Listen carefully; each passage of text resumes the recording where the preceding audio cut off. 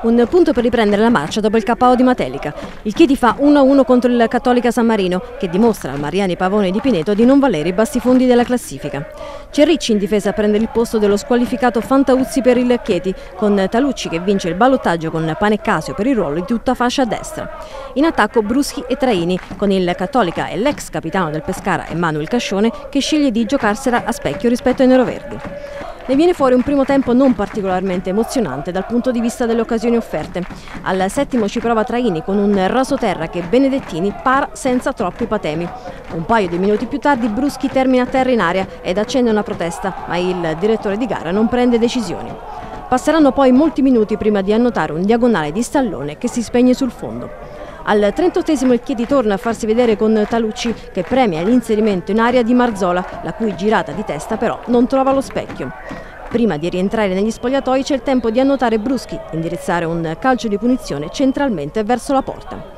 Il Chieti inizia con l'atteggiamento sbagliato alla ripresa e viene punito dopo 7 minuti. Da un'incursione in aria, Battistini salta più in alto di tutti e mette il pallone di testa alle spalle di Camerlengo per il vantaggio del Cattolica. La risposta neroverde è in un tiro all'undicesimo da fuori di Traini che si spegne alto. Un minuto più tardi Bruschi impegna Battistini in angolo direttamente da calcio di punizione. Il pareggio però è nell'aria e prima del quarto d'ora Traini finisce a terra in aria in un contatto con Berra ed il direttore di gara assegna calcio di rigore per la formazione neroverde. Dal dischetto va Mazzolli con un destro che si infila all'angolino per l'1-1 della formazione di Grandoni. Il Chieti poi molla di nuovo un po' la presa e si ripresenta dalle parti di Benedettini solo al 35 quando Traini dal limite si esibisce in una bella girata, non premiata di un soffio però dal gol.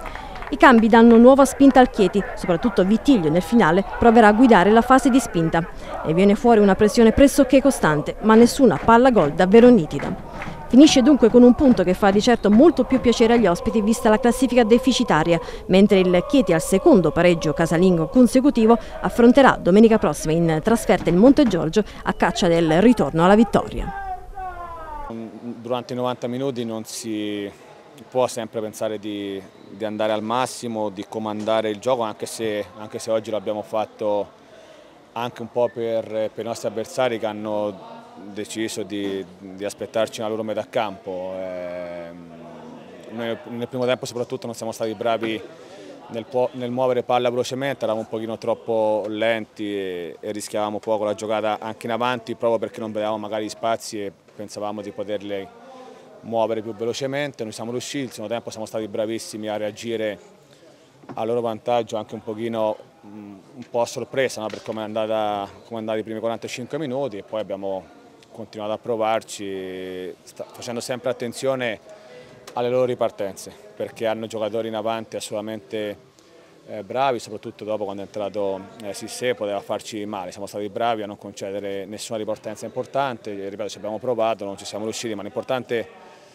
continuare a lavorare così come stiamo facendo, anche la squadra oggi ha cercato di fare assolutamente la partita, la cosa più più bella oggi è quella che nonostante lo svantaggio abbiamo battuto al centro e abbiamo subito ricominciato a provare a giocare e a fare quello che proviamo in settimana, quindi questo è assolutamente di buon auspicio per il futuro e noi continuiamo a lavorare con la massima positività.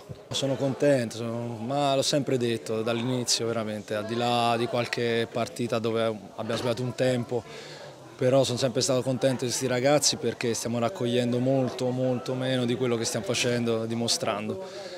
E questi ragazzi stanno dando soddisfazioni a livello comportamentale, caratteriale, ma anche di qualità di gioco. E mm, venire a pareggiare qui è un buon punto anche se per come è nato l'1-1 c'è tanto rammarico. Sei d'accordo sul calcio di rigore? Ma guarda, se ci fosse lo stesso metodo di, di giudizio allora va bene, quindi doveva fischiare anche su Berra 5 minuti dopo. Quando vedi disparità nelle cose allora un pochino ci rimani un po' sorpreso, però questo momento fa parte, questi errori ci sono e ci saranno sempre, quindi non, non, dobbiamo pensare a queste cose qui, in questo momento penso solo alla, alla squadra di com come sta esprimendo le proprie qualità durante le partite.